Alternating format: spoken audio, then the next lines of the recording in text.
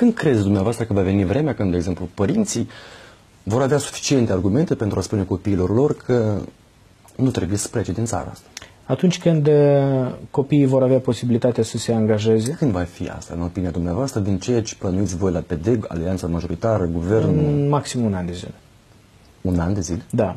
Bună seara, prieteni!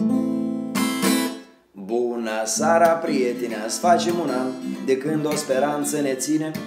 Simpaticul domn Candu Andrean a spus că o să fie mai bine.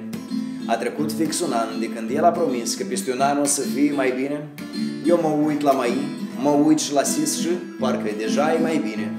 După 7 aprilie, noi am sperat pe CRM nu o să ne mai domine. Doar că 14 comuniști la PD au intrat și sincer, asta e mai bine. Miliardul furat, ai promis că îl întorci azi mâine sau poi mâine. Noi pe cuvânt am crezut, de 2 ani așteptăm și parcă deja e mai bine. Pe Dodon l-ați făcut președinte în stat, cu reforme pe z***ă el vine. Pupă mâna la pochi, linge fundul la ruș și poporul trăiește mai bine. Televiziuni controlate de-al tău nănaș toarnă în cap la oameni toxine. Cu sau fără 30.000 de sirieni, noi deja ne este mai bine.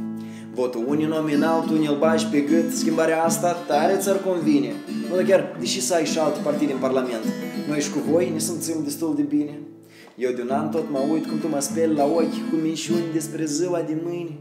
Și mă întreb, oare când voi ați, că ați dispăreați, n-ați mai ieșiți, în sens că e ca nu sunteți, dar după asta să nu mai ieșiți deloc, deloc, deloc, în sens că e ca noi să scăpăm de voi, când, când noi să scăpăm de voi, poate măcar atunci, ați ne și mai bine. Domnule Candu, apoi că asta e întrebarea. Când să scăpăm noi de voi? În maxim un an de zile. Un an de zile? Da. Ah, ok, așa mai merge. Dar pornim numărătoarea inversă, sau cum?